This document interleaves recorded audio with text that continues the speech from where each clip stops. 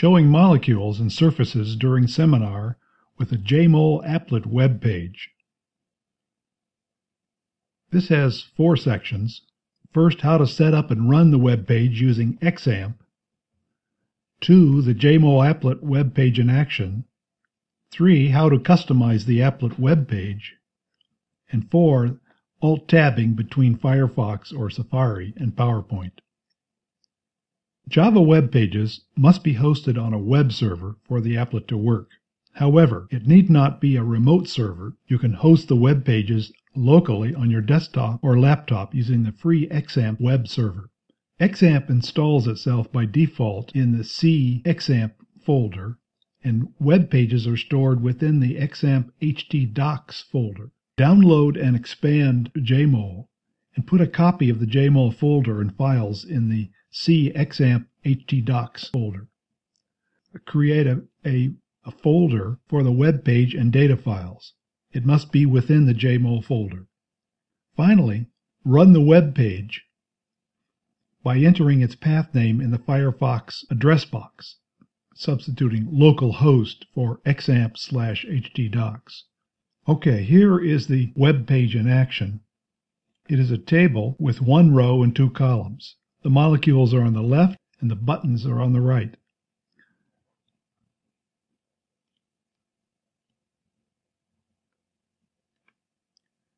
Now let's look at the HTML file that codes for the web page. Two script segments are mandatory. One in the head section that gives the location of the JMOL applet, and one in the body to start the applet. The overall width of the table is 1200 pixels, and the width of the left-hand column is 1000. The page opens with the teropyrene molecule already showing, and that is accomplished with this JMOL applet script. The various JMOL commands, separated by semicolons, are placed inside the quotes. These commands, for instance, load molecular structure, format the appearance, place a title, each button is coded by a, a JMOL button script. And again, the JMOL commands are inside the quotes.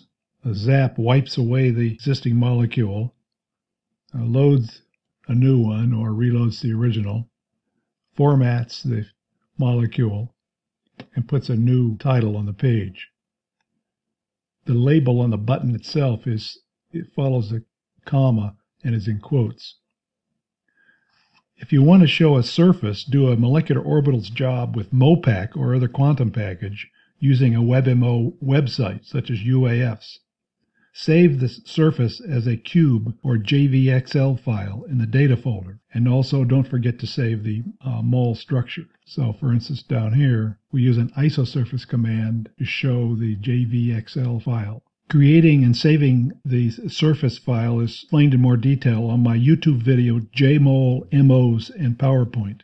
Now notice how I have both the browser and the editing program open. This way you can see the results of a change in the file by saving the file and reloading the web page.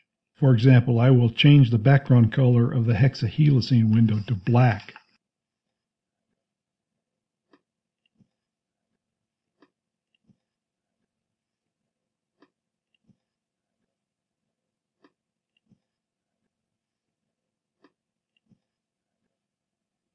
Finally, a brief demonstration of switching back and forth between the slides. So here's a slide about teropyrene.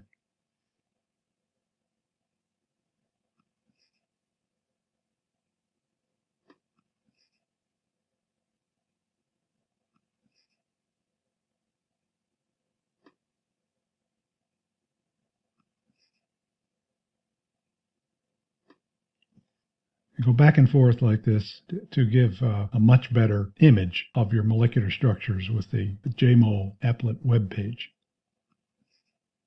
The end.